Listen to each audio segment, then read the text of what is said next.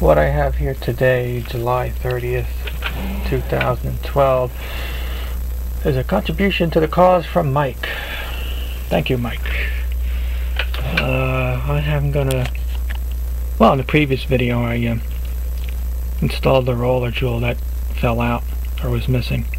It fell out, and then it went missing, so.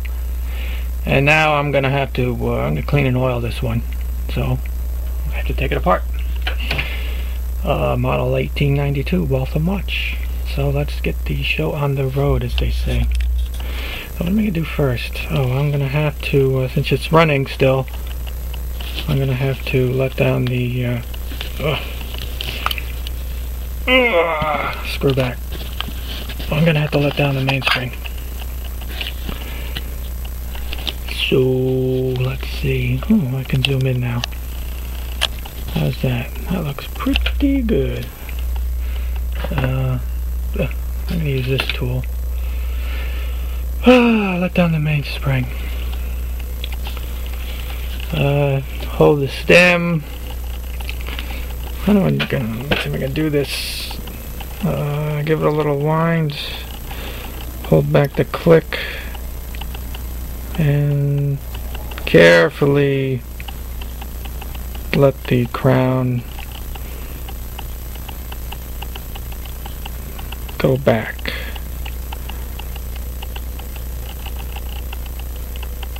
Oh, I think I got a system now. Yeah, I got a system.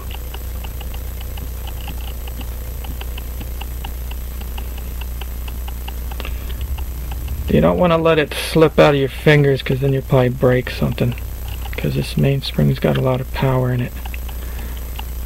I can take a rest. And uh, I think that's about it. Yeah, that's it. This puppy's exhausted. I expended it. Uh, okay. What am I going to do next? So I'm going to take the hands off next.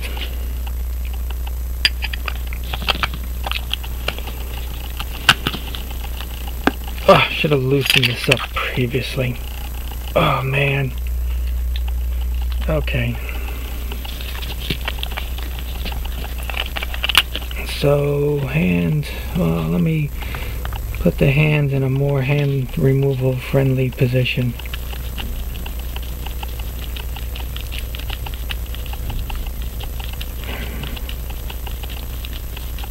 Let's try it there.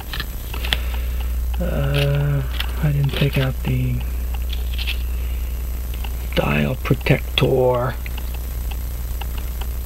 And at least I got the hand puller, whoops, out of the package.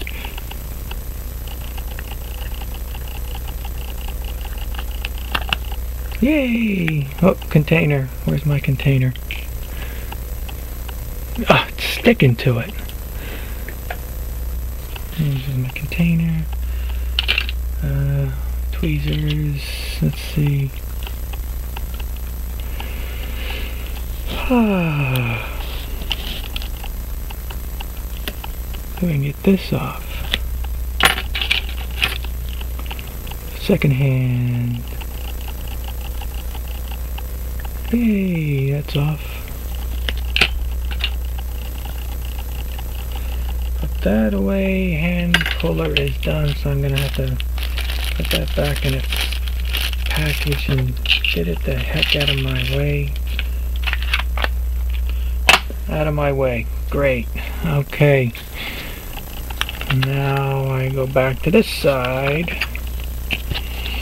and take the movement out of the case. See, we got two screws. We got a half head over here, it looks like. Oops, and we got a full head over here.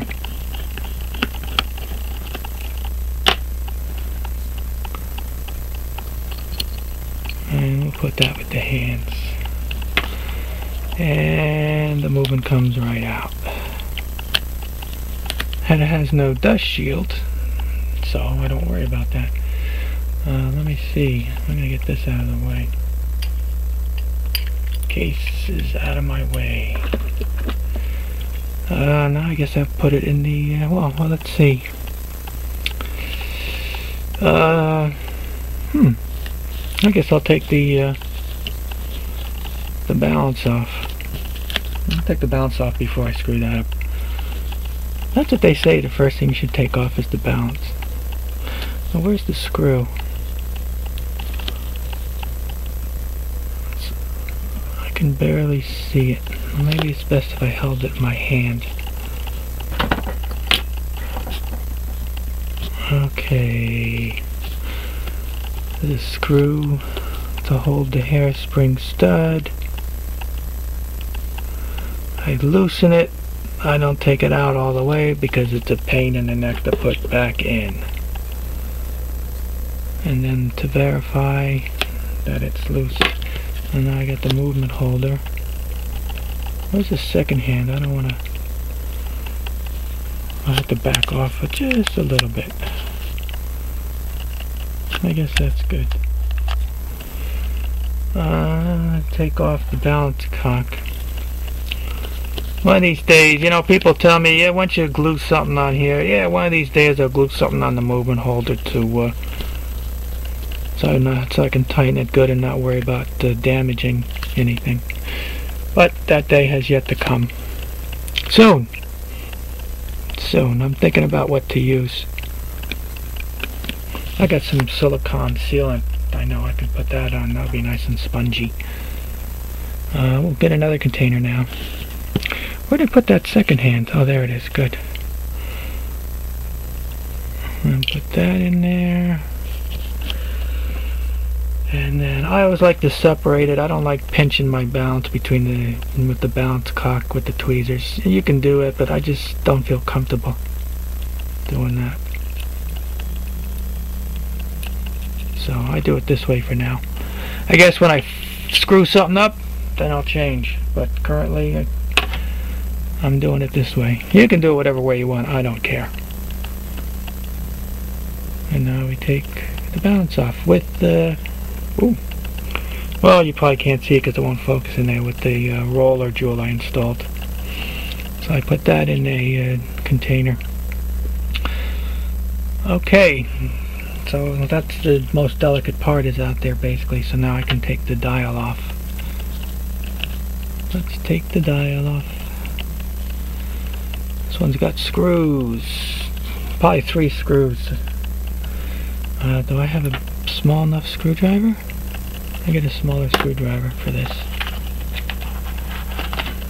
So there's three screws, there's one here. I'm not taking these out all the way either because uh, I'll probably lose them. And there's the second one. Sometimes you get these watches and they're missing screws. This one appears to have all of them. That's nice. Ugh, oh, frig. Sometimes they're stripped. Because people, I don't know what they think. I mean, it's not like this stuff is going to go anyplace. And now I take off the, uh, the dial. I'm going to put this down. There it is, your dial. It is a double sunk dial. A true self double sunk dial because you can see the uh, two pieces here. Missing some solder. Wonder where that went. Maybe it's in the movement. Oh, look at that. That's bent down. Yeah, someone smashed this dial in there and bent the leg to the side. I'll be a son of a bitch. And it fit, too. It fit. Where's the second? Which one is that one? That one's this hole. It actually fit. Wow. Don't blame that on me. See? That's, that's bent down. I took it off. I didn't push it in yet, so I'm not going to move that because it'll break right off. That's all I can say. It will break right off. And to solder it on, eh, I don't know if I can do that. Oh well, it's too bad. Someone was careless. Let me put this away. Where can I put this dial? I'll put it in the uh, the bezel. What a shame. Oh, while I'm here, this is going to fall off on me. Well, I get to get another container now. Oh wait, I'll put that with the hand. So you got your little washer thing and then your hour wheel. I wonder why it doesn't want to come up. Why doesn't it want to come up? Oh, crap. Why doesn't it come off? Hmm. That's odd.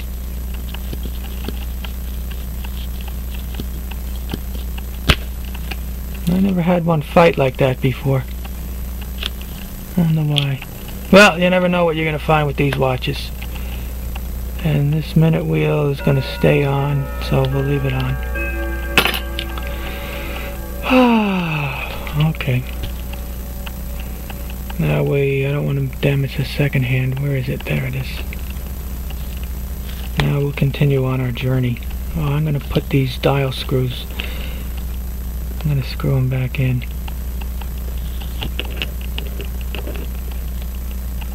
Just in case. You, you never know, they might fall out and then I gotta find them. So I'm going to put them in a little bit. So and where's the second hand again? There's the second hand. I don't want to damage it. Second hand pinion. Okay, so let's continue on our journey. Mm, I guess I'll take this off.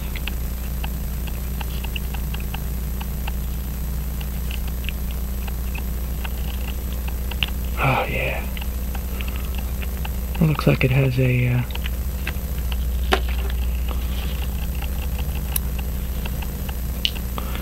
uh, some sort of washer deal. I see these on some of the watches. And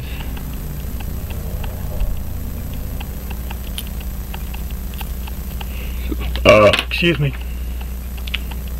I guess this is the ratchet wheel. It's got a lot of oil underneath it. Someone sprayed this puppy with WD-40 or something because you can smell it and you can just see all the excess lube. And I'll also take this off too.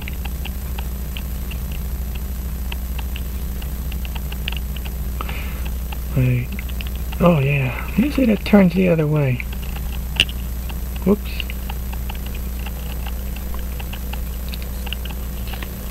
I wonder if I can...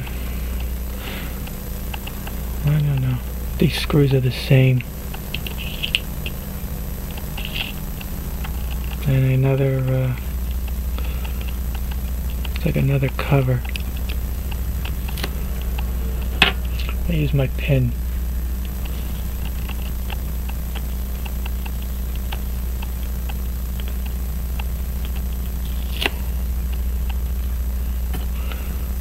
Well, this one I won't mix up with the other one.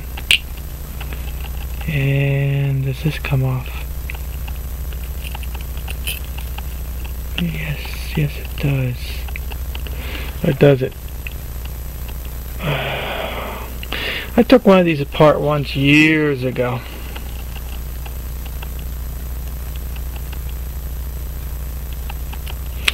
But I don't remember.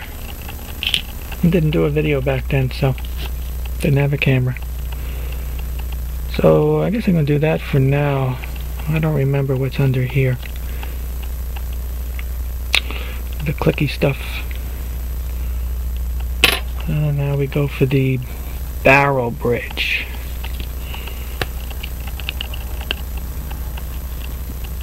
Oh yeah, those screws are tight.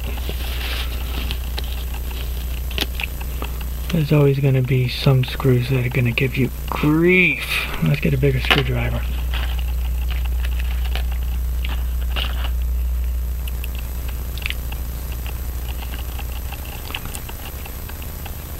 Oh yeah, got it.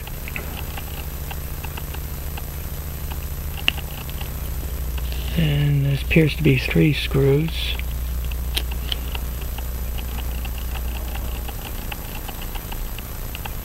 Oh yeah, that one's tight too. Whoops. I hate when that happens. I had to take this screw out, the case screw, because uh,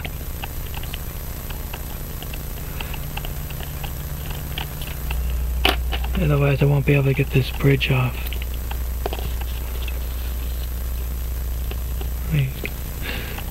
Where did I put those? I don't remember. And the last screw.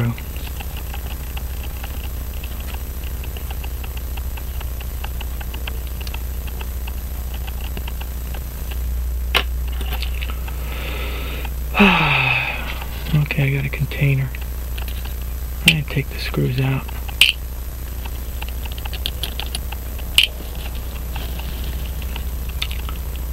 Let's see. And there is your barrel bridge. Yeah, you, I don't know if you can see from the reflection, but there's a, like soaked in something. The whole thing is soaked. Oh well. At least it's lubed. And there is your winding and setting stuff. I'll have to take that out before it falls out. Do I remember how to do that? I thought it would lift right out, but like I said, it's been a while. It's been a while, so don't worry. How they had this is brass. Okay, now we're going to take off the rest of the other bridge. Ah, how many screws for that? I only see two. Oh, yeah, one.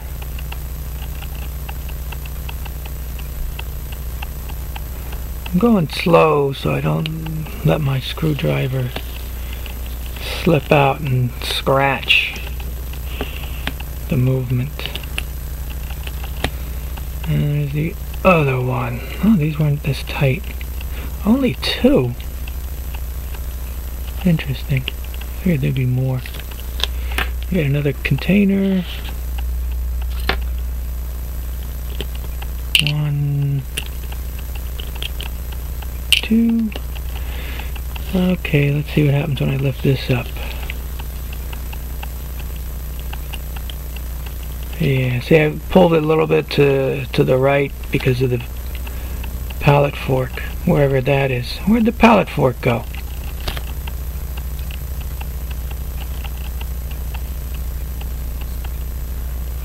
What happened to the pallet fork? Oh, you can want to look underneath this. Uh, I'm looking underneath this piece and yeah, I see a lot of oil. Everything's oil. The whole surface is oil. Cool. The number match there? What's that number? 5184 something? I don't know. Put that there. Yeah, number matches. Now what happened to the pallet fork? There it is. It fell. So for effect, I'm gonna see if I can uh, No, it won't stay. That's why it fell right through this hole. So forget about it. No effects. Anyway, there's your train. Pallet fork ain't staying where it is. So, yeah, even all these wheels are covered in oil. puppy's lubed up real good. Uh, so there's your train, uh, mainframe barrel, center wheel, third wheel, fourth wheel, escape wheel, and your whatever. So let me uh, Take out the train. Oh, I gotta remove the cannon pinion. I always forget something. Uh, escape wheel. And this is for the second hand. He's got that extra long pinion. Let's see if I can... Well, I can, can I get the mainspring barrel out, or do I have to take off the cannon pinion? Well, I can slide it out, of course. This is one of these... I think it's called a motor barrel or something. It's something different than uh, the... Because the barrel cover is not snapped on. I took, I repaired, placed a mainspring on one of these things once. Like I said, I have another one, 1892, and it was really different. It's like this uh, barrel arbor is attached to the uh, the top cover here. There's nothing no cover on the bottom. So when you pull off this brass part, that also the barrel arbor comes out, and then the mainspring comes out too. It was a real pain in the ass to to install a mainspring in this. I don't know, maybe I did something not quite right because uh, I'm still learning. So, but anyway, let me dump that in there. I, uh, I don't know how this comes off. I forget. It's been a while. So I'm going to take the cannon pinion off. Probably something to do with this screw. Uh, let's see if this thing will slide off or I gotta get my uh, pliers. No, I gotta get my pliers. I always forget something. I'll be right back. Oh, crap. Gotta get the pliers, gotta get the pliers, gotta get the pliers, gotta get the pliers, gotta get the pliers, got the pliers. Got the pliers, got the pliers, got the pliers. Okay, I got the pliers. Uh, these are smooth face, so I'm not gouging anything. One of these days I'll have to get the cannon pinion puller. One of these days. So, let's see. Oh, wow, that's... That's tight. Course, the center wheel fell through because there's nothing holding it up. I put that in the container. Uh, see what else I can take off. Maybe a nice pattern on this. Uh, I got another container. Good.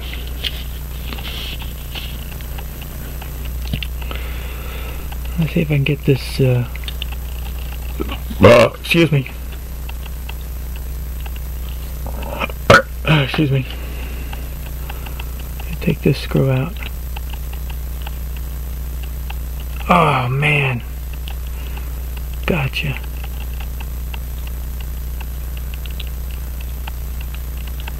Oh, I don't like that. I'm turning it and nothing's happening.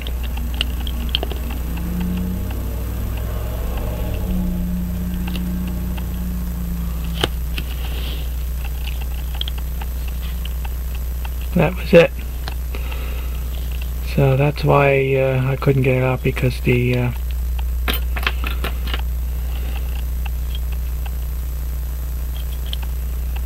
it's screwed on. I forget what they call that piece whatever the piece is it's screwed on. I don't remember the name. And where'd the screw go? Here. I gotta take this before I lose it. And let's see what else we got. Now we got the, uh, what's that? The minute wheel, I guess.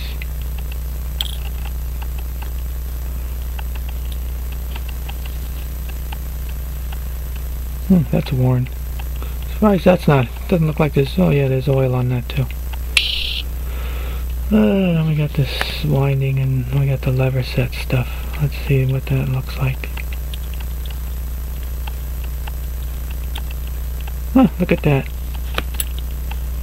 Well, I'm going to take that off later because um, I don't know if I chewed up enough of your time. Uh, I think that's it. These two jewels are screwed in. And it's on this side.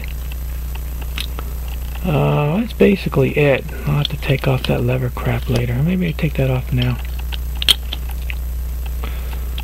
Let's see. it looks like a pain in the ass. I'm going to take it off later. Uh, I think that's it. So now I'm going to clean and oil it and then put it back together. It's got a nice coating of stuff. So let's see if we can do a group shot and call it a day. I gotta raise this camera. Uh, group shot.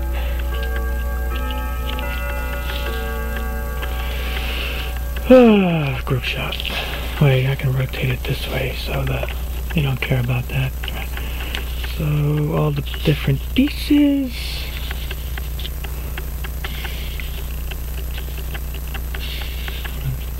Uh, what? I can't get uh, everything in?